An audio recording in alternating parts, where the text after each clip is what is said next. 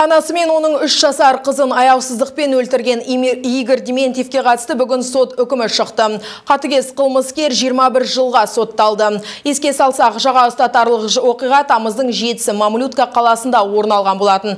25 жасар Дементьев марқұм Айнагүл Десекинамен бірге ішімдік ішкен соң, екеуінің арасында жанжал туады. Ал оның арты төбелеске ұласады. Қылмыскер ағашпен әйелді кейін оның үш жасар қызын ұрып тастап, естерінен тандырған. Бұдан соң қолына пышақ алып, екеуін қатыгездікпен өлтіреді. Кейін марқұмдардың үстіне отын үйіп, түк болмағандай ұйқыға кетеді. Келесі күні Дементьев қаза тапқан келіншекпен оның қызының құлақтарынан сырғаны шешіп алып қана қоймай, марқұмның банк карточкасында ұрлап кетеді. Оның ішіндегі 16 мың теңгені танысының көмегімен Петропавл банкоматтарының бірінен шешіп алады. Ал сырғаларды ломбардқа тапсырады. Сот отырысы барысында айыпталушы өзінің күнәсін толық мойындады. Қаза тапқан Айнагүл Десекинаның ағасы мен кішкентай қыздың әжесі моральдық өтемақы ретінде қылмыскерден әрқайсысы 50, миллион теңгеден сұраған екен. Сот бұл соманы шамадан тыс өсірілген деп тапты. Марқұмдардың екі туысқаны 2,5 миллион теңгеден алады.